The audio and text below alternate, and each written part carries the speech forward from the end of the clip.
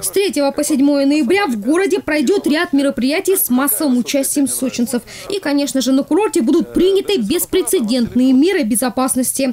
Глава города просит сотрудников полиции не отказываться от помощи казачьих дружинников, а всю общественность и актив города обращать внимание на подозрительных лиц.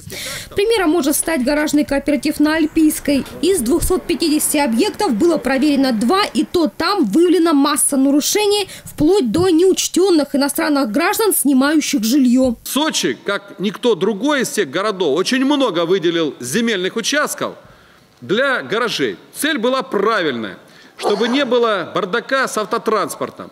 В этих э, гаражах должны стоять автомобили.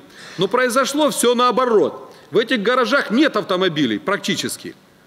Там у нас все что угодно. Люди проживают, еще чем-то творят, коммерческой деятельностью занимаются. Это же безобразие. Сегодня Анатолий Пахомов распорядился начать в Сочи тотальную проверку гаражей совместно с органами прокуратуры и полиции.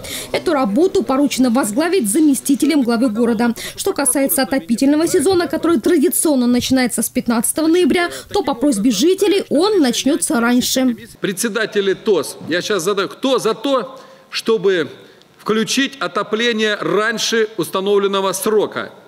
Поднимите руки.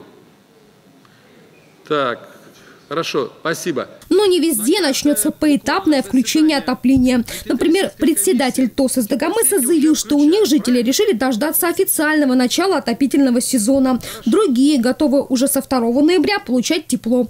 В целом в городе все объекты уже готовы к подаче горячей воды в батареи. Город успешно получил паспорт готовности к зиме.